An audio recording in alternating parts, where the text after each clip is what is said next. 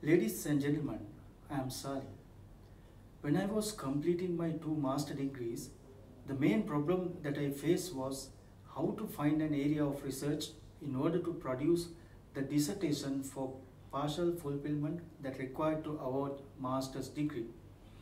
This is common for all students, those who involves postgraduate studies.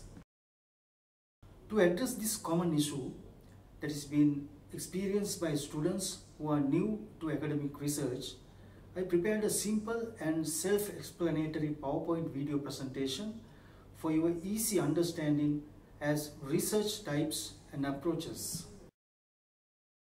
As we all aware, there are two main approaches towards research as quantitative and qualitative approach which can be used according to the research types.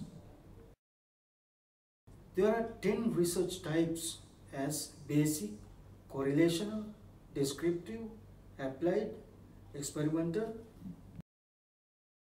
and action, ethnographic, historical, exploratory, and explanatory. Anyhow, understanding the definition or meaning of these research types is important to select the area of research according to the extent that you can dedicate and spare your time for the research work. By going through the definitions, you can select best suited research area to write your research proposal accordingly. Let's see these definitions. Applied research used to solve a specific practical problem of an individual or group. This type of research is useful for develop new systems and procedures in specific areas. Basic research is being used to improve scientific theories. Correlational research, as indicates by the name itself, is being used to see whether there is a relationship or covariance between two or more variables under study.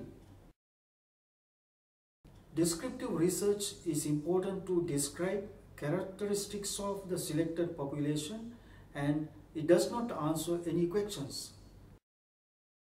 Experimental research is being used for various experiment related studies.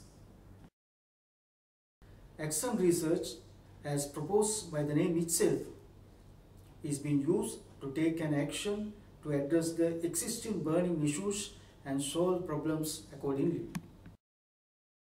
Ethnographic research involves observing the subject being studied in their natural setting rather than artificial environment of a lab or focus group.